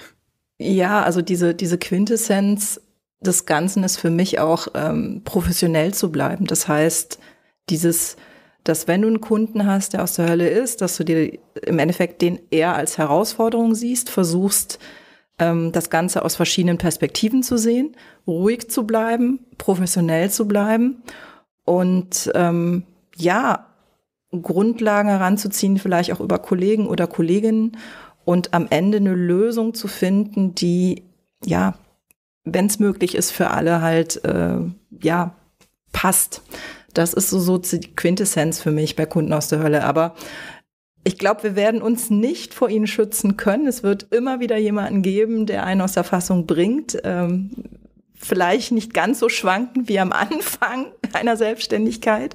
Und ich glaube, was wir auch sagen können, ähm, alle, die uns jetzt zuhören, ihr seid nicht alleine. Und, äh, weißt du, was wir jetzt machen? Ich kann zum Schluss noch, die, noch drei Klassiker raushauen, so richtig geile Sachen. Dann können wir darüber lachen und dann machen wir, dann machen wir einen Strich. Okay. Äh, Werbeagentur äh, fragt ein People-Shooting mit einem äh, bekannten sportlichen Testimonial an. Äh, meldet sich dann, äh, also fragst du im Angebot nach, wie ist das mit der Zeitplanung und ah, ah, meldet sich nicht zurück. Das ist dann irgendwann im Sand verlaufen, zwei Wochen später und dann klingelt bei mir dann äh, noch mal ein paar Wochen später das Telefon. Ja, sie hätten das Shooting jetzt durchgeführt mit einem anderen Fotografen, ähm, bei dem ist aber die Bildbearbeitung irgendwie so teuer, ob ich die übernehmen könnte. okay. yep. ja, pass auf. Aber, äh, was anderes. Oh, zwei, Moment, äh, zweite, genau, zwei. Äh, zwei. Das war der erste. Das war der erste. Zweite ähm, ist eine Agentur für äh, äh, Corporate Magazine gewesen. Die haben für einen Lobbyverein Shooting angefragt, äh, was bei einem Großkonzern äh, stattfinden soll, weil die eben potenzielle Kunden oder Mitarbeiter von diesem äh, oder Mitglied in diesem Lobbyverein sind und so weiter. Die haben für das Corporate Shooting, Corporate Shooting, fürs Magazin-Shooting, haben die 350 Euro geboten. Wo man natürlich mhm. jetzt nochmal sagen muss, also äh, natürlich ist das auch der Tagessatz, der jetzt beim äh, Sternspiegel und wer weiß was nicht gezahlt wird, aber ein Corporate Kundenmagazin ist eben nicht Journalismus. Naja, Richtig. dann ähm, habe ich, äh, äh, äh, hab ich da gesagt, naja, also bin ich leider nicht verfügbar und ich finde das auch ein bisschen, äh, äh, bisschen schwierig, weil ihr ja nicht nur für die 350 Euro die Veröffentlichung haben wollt, sondern die Bildrechte für euren Verein, den zweiten Verein und für den Konzern. Der sollte mhm. nämlich mit da drin sein, vollumfängliche Nutzungsrechte. Woraufhin er zurückgeschrieben hat, ähm, dass das vollkommen normal ist. Äh, also erstens braucht man ja auch nicht die ganze Zeit, das ist ein viel kürzerer Termin, das heißt, das Honorar ist in Ordnung. Mit den Nutzungsrechten haben sie einfach mit dem Konzern festgestellt oder mit äh, anderen äh, großen Firmen festgestellt, dass das ganz normal ist oder dass das viel angenehmer ist, weil wenn man das gleich von vornherein abklärt äh, und das mit inbegriff, dann gibt es danach keine lästigen Nachverhandlungen. Dann habe ich gesagt, ja. Hm. ja, aber nicht für 350 Euro. Das ist Egal. okay, number three. Das ist der letzte, den finde ich auch, das war, da, da, weiß ich im Nachhinein, das war nicht böse gemeint und ich mag den auch wirklich gerne, aber es hat mich wirklich verblüfft in dem Moment und so habe ich eine, wirklich, also es war eine etwas größere Produktion und äh, eben auch mit einem riesen Sack Bildbearbeitung. Und zwar so viel Bildbearbeitung, dass man dann eben bei der Bildbearbeiterin auch mal so zehn Tage blocken muss. So, es war alles geblockt, es war alles vorbereitet. Wir haben nur noch auf die Bildauswahl gearbeitet, äh, gewartet. Und dann kriege ich einen Anruf, sitzt gerade mit den Jungs im Auto, ja, also mit der Bildbearbeitung, wir haben uns das jetzt überlegt, äh, wir machen das jetzt doch agenturintern. Und dann habe ich gesagt, naja, äh, Moment, ey, wir haben ja ein Angebot und da steht das drin. Es ist bei mir jetzt zwar nicht der Fall, aber es gibt sehr viele Fotografen, wo die Bildbearbeitung ganz fester Bestandteil des Einkommens ist. Aber wie dem auch sei, wir haben Angebot, das ist abgesegnet, das Shooting hat stattgefunden. Wir warten hier auf dieses, äh, ähm, wir, wir warten hier auf die Bildauswahl.